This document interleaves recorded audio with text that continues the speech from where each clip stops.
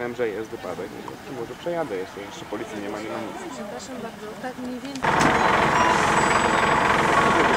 Jestem prezesem OSP w Kaczorowie.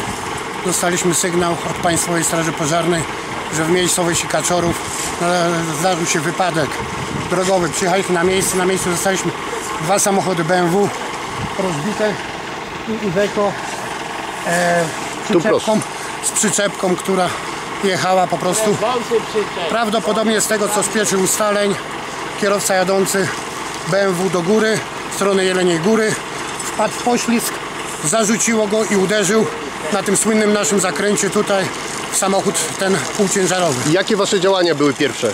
Pierwsze działania było zabezpieczenie, spytanie się osób, czy nie są poszkodowane. Wezwana została karetka, została wezwana karetka pogotowia, policja, e, rozłączenie akumulatorów w samochodach. E, No i zabezpieczenie, czyli sypanie sorbentem drogi, bo jest na wiesie, jak pan widzi, bardzo śliska. Czy była po, konieczność e, waszej jakiejś e, interwencji, jeżeli chodzi o osoby? E, Nie, w tym momencie akurat szczęśliwie dla pasażerów. Pasażerowie z BMW, jak i z Iveco wysiedli samo, czy sami.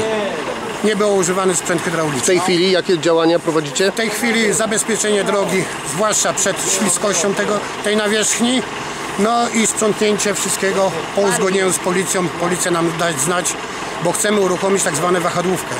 Ale w tej, chwili, e, w tej chwili droga jest bardzo śliska. bardzo Dosłownie śliska, nie można po prostu stać nawet na niej. Tak. Śro, ten płyny, czyli olej prawdopodobnie i benzyna, ropa. Czyli może być wylane. sytuacja, że może być zamknięta przez jakiś czas. Może być zamknięta. Nie wiem, policja zadecyduje, w którym momencie będzie można udrożnić tą drogę. E, Dla Portalika 24 mówił Jerzy Krynicki, prezes OSP Kaczorów.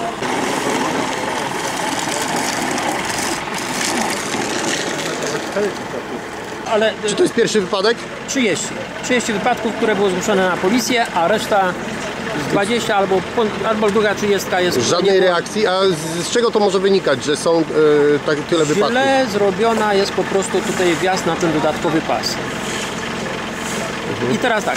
Ja chciałem pisać do Generalnej Dyrekcji Dróg Autostrad, żeby tą wysepkę, która tu jest, przeciągnąć ją gdzieś do tego miejsca, kosztem mojego, mojego wjazdu na mój plac, nie? No i teraz zobaczymy. Dyrekcja, y, kierownik y, z tego rejonu drugiej autostrad jutro do mnie ma przyjechać i zobaczymy, co to będzie.